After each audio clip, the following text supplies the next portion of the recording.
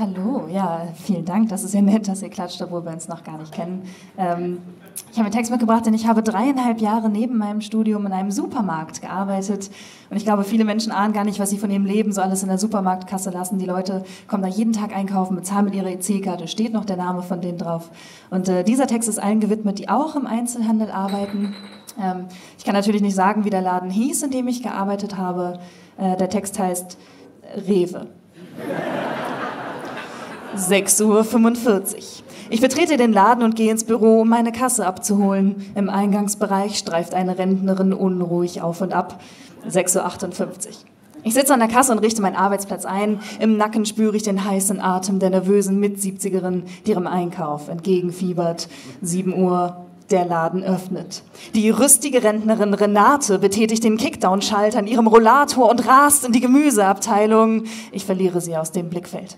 Drei Minuten später. Renate taucht am Horizont meines Kassenbandes auf. Sie schnauft. Glücklich legt sie ihre Kondensmilch in Kleinzweig Weintrauben und eine Packung Lakritzbonbons auf das Band. Sie strahlt mich an und fragt, ist es nicht herrlich, so früh einkaufen zu gehen?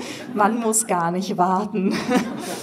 Dass sie gerade eine Viertelstunde zwischen Schnittblumen und Streusalz im Eingangsbereich hin und her gefahren ist, scheint sie verdrängt zu haben. Seit ihr Mann letztes Jahr gestorben ist, hat sie nicht mehr viel zu tun. Kurz darauf. Die ersten Raucher und Bildzeitungsleser haben sich mit den liebsten Waren eingedeckt. Heinz ist auch schon da. Heinz kommt jeden Tag zweimal einkaufen. Morgens kauft er acht Dosen 0,5 Liter Bier, abends sechs Dosen und zwei Lütte. Man gönnt sich ja sonst nichts, zwinkert er mir zu. Und ich glaube, er konnte heute wieder nicht duschen. 8.15 Uhr.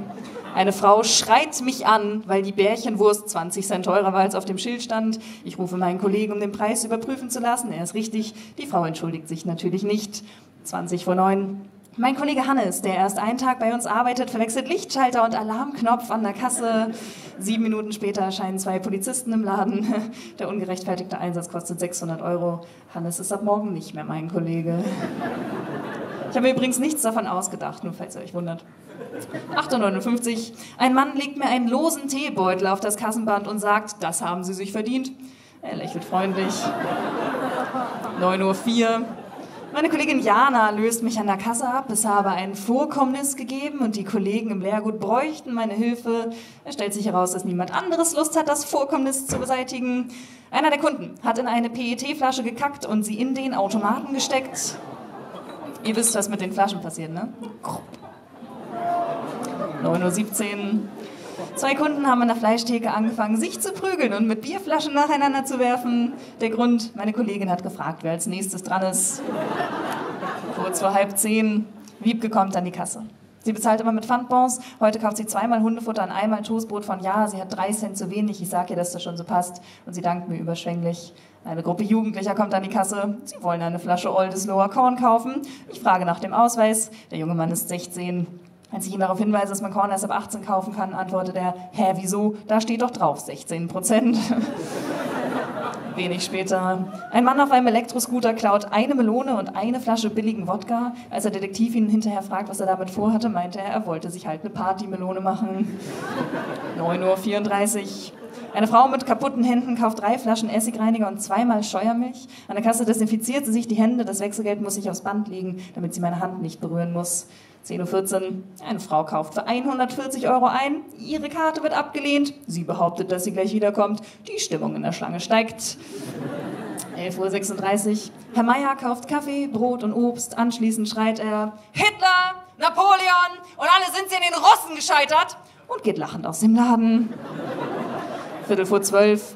Vom Süßigkeitenregal kann sich Herr Petersen mal wieder nicht entscheiden. Seit drei Stunden läuft er, läuft er durch den Laden, überlegt, welche Konsequenzen der Kauf von Nuss, Daim oder Milchschokolade haben könnte. Er kommt an die Kasse und fragt, ob es sie auch mit Nougat-Geschmack gibt. 11.49 Uhr. Eine alte Frau sagt, dass ich ja so hübsch sei und dass es eine Schande wäre, wenn ich in die Hölle käme. Sie legt mir einen Flyer einer christlichen Gemeinde aufs Laufband. 12.01 Uhr. Ein Mann mit einem Kehlkopfmikrofon bestellt einen Beutel schwarzer Krauser Tabak. Eine Viertelstunde später. Eine weinende Frau fragt, ob wir auch Schwangerschaftstests verkaufen. Ich schüttel den Kopf. Sie drückt auf den Zigarettenautomaten. Big Pack Prince. 12.47 Uhr. Heinz ist wieder da. Er hat gute Laune und kauft noch einen Lütten. Er legt mir ein klebriges Bonbon auf das Laufband. Was Süßes für meine Süße. lacht er und zwinkert mir zu. 12.54 Uhr. Aus Reflex frage ich einen jungen Mann, der Kondome kauft, aber Treuepunkte dazu haben möchte. Ich muss unfreiwillig lachen. Er wird rot und geht. 13 Uhr. Ich habe Feierabend. Bei der Abrechnung fehlen 3 Cent. Die Frau, die für 140 Euro eingekauft hat, ist natürlich nicht mehr zurückgekommen. Morgen habe ich wieder Frühschicht. Vielen Dank.